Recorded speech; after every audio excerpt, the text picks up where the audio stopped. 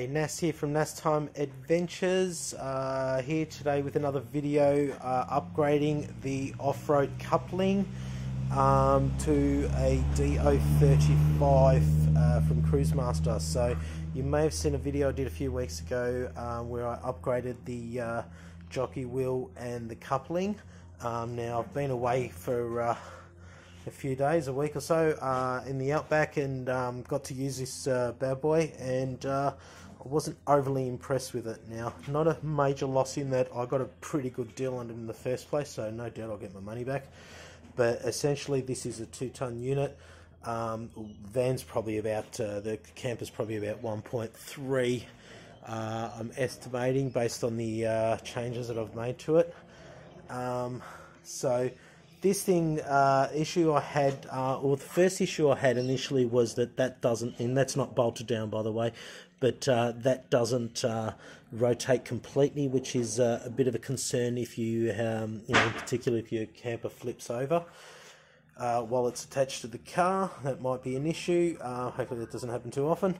Um, now, the main issue for me was this thing here was quite stiff and that pulls back so you can hook it on and it's actually quite stiff and quite awkward now i found if you don't line it up right if uh, you aren't holding that high enough um, you know and it is a little bit awkward to hold it was actually a real pain to uh, use and hook up to the car now imagine that on level ground and then imagine that on um, unlevel ground uh, you know when your car's on the side of a hill or something like that um, it's going to be an actual pain in the butt. So I decided quite quickly that I was going to upgrade that. I did a bit of research and um, narrowed it down to two units, uh, being the uh, DO35 from Cruisemaster and also the McHitch. Um, both uh, had um, you know their advantages, but I got a really good deal on the DO35 from Cruisemaster, so I've decided to go with that. Um, now the main features uh, of these um, is that it's you know quick and easy to uh, hook up. Um, it's extremely uh, strong. This is a three and a half ton unit, so um, you know much stronger. Um, you know I probably don't need probably overkill for what I need, but um, better to have too much than too little, I say.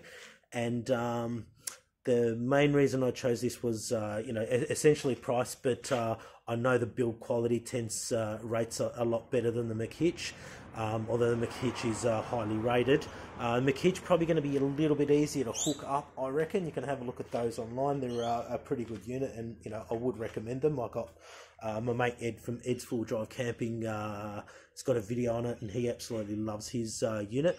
Um, I just like this probably because it's a little bit more compact, not as chunky. Um, it does probably rate a little bit better. Uh, you know, it's supplied by a company in uh, Australia as well. So, you know, they both are. So, you know, supporting uh, local business as much as we can. And um, I just find that's uh, uh, a better unit for me overall. But do your research and uh, understand your own reasons for wanting to um, choose between the two, but if I was going to select a coupling for an off-road trail, I'd definitely be thinking either this or the McHitch. There are some others in there, and people will tell you they're fantastic, but that's what I narrowed it down to. Now, uh, pretty basic, uh, really, in that um, this pin gets hooked onto, obviously, uh, that replaces your 50mm ball, and that goes on the back of the uh, car, the hitch. Um, you know, you line it up with that hole there relatively easy and it's pretty well guided apparently. And then click that and that locks it in place. And uh, you have a nice dust cover that goes over the top of it as well. So I'm just going to show you now basically what's involved and how easy it is to replace it. Now like I said that's not bolted down and I'm doing this with one hand but essentially you just unbolt it lift the old unit off, get yourself the new unit, and line it up. Um, you know, that easily.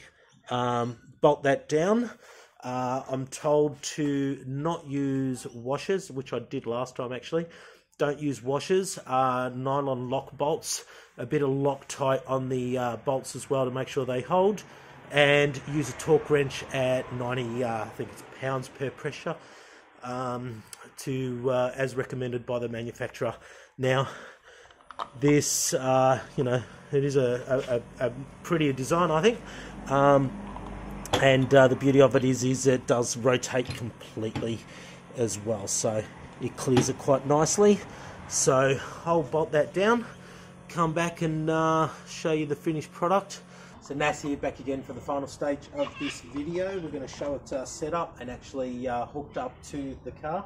So um, I've added the pin onto the hitch uh, using a couple of tools. So firstly the Cruisemaster uh, tool supplied um, which basically hooks on there to stop it from spinning around when you're doing it up. Uh, this is a purpose-built um, tool for removing balls and, and that off your hitches. I highly recommend carrying one of those in the car. They're uh, really good, compact, and uh, you never know when you're going to need it on the road. Um, so that's uh, fitted there pretty tight. We um, pull this up now a little bit closer. So take the uh, pin off it. Uh, firstly, you've got uh, open up the hole there, so that locks in um, like that. Uh, push it in and lock it in place, so that hole is open. That's just going to go. Don't have to line it up perfectly, just uh, as best you can because um, uh, you know you're on rough terrain and stuff, uh, side of the hill or something. It's not always going to be lined up perfectly, but this seems to uh, guide itself in quite well. So you might be able to see there it's a bit of movement. Uh, that's locked into place. Um, let's take the weight off it and lock it in just by pushing that uh, button. So that's locked in. You know that's not going anywhere. Um, put the uh, dust cap on and this cap will only go on once it's in the uh, locked position. Um, pushing the back clip it in. You need to hear it uh, lock in, otherwise um, you need to hear it locked in. Otherwise, uh, it's not gonna um, be secure. You know, once the cap's locked in, that it's um, in the right place and it's actually secure. So that's locked in, ready to go. We can take the you know weight off that completely and ready to go to unhook it. You unclip the uh, lid, which is attached by the way, so you won't lose that. Um, push the uh, red pin push the uh, plate back and